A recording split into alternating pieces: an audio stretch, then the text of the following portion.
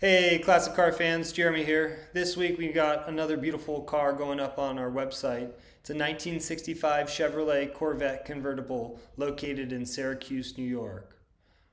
This car is originally factory silver with red interior and it's being offered with its hard convertible top as well as the soft convertible top.